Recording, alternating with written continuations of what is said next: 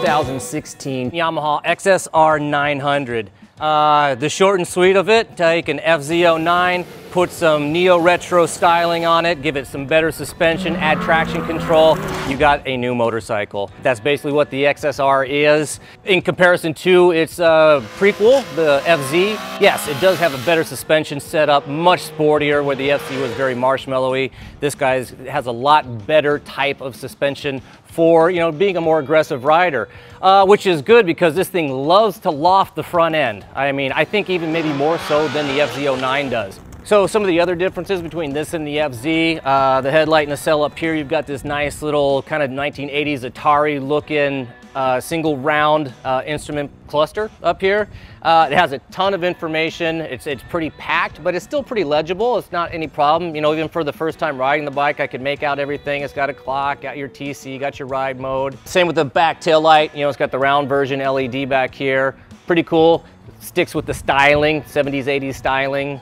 Uh, suspension wise, you've got preload adjustability on the front with a rebound. Same thing in the shock, you got preload and rebound adjustment.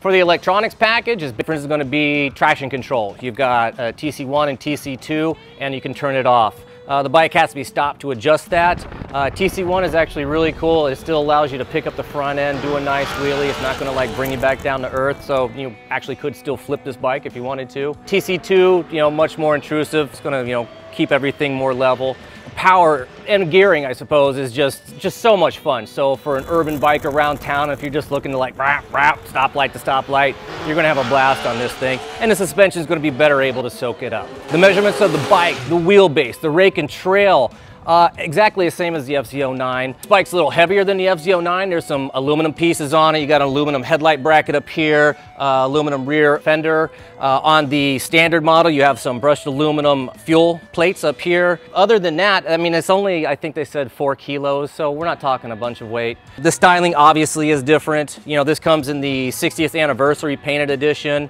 and you've got the standard model that's I think $700 or so less and it's the silver model, it's got the two-tone seat, it does not have the uh, yellow shock spring and it does not have the anodized forks but it's you know it's a little bit more low key so if you like that sort of downplayed you know style I think it's really cool it went with my uh, helmet really well and my you know, neo retro jacket, that RSD jacket I'm wearing. Handling's about the same, really. Uh, we did some riding out in the twisties around San Diego County today.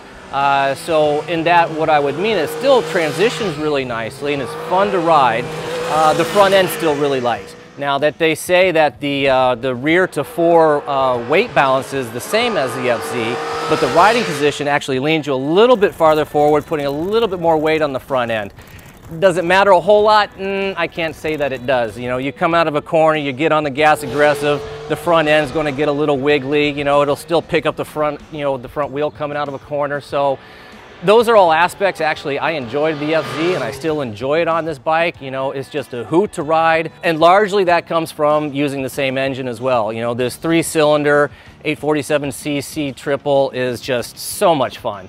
And a lot of it also is the light weight of the bike. Like I said, it's only four kilos more than the FZ, so you know it's really still a light, lightweight motorcycle for you know basically a 900cc bike. Yamaha did have on display here some nice aftermarket accessories. They had these you know uh, like low clubman type bars up here that you know really push into a cafe racer you know seating position if you like that.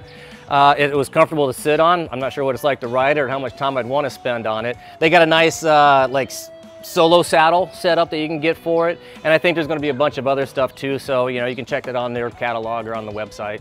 I know that these are in dealerships right now, so they're available. Uh, Yamaha mentioned something about being a part of the corporate uh, test ride fleet. So even if your local dealer doesn't have one, there should be some events in your area that you could get down and take a spin on this guy. I would definitely recommend it because if you say were a fan of the FZ but didn't like its styling and like this type of you know look, this old 70s, 80s look, you know, it's, uh, it's a cool bike for the money.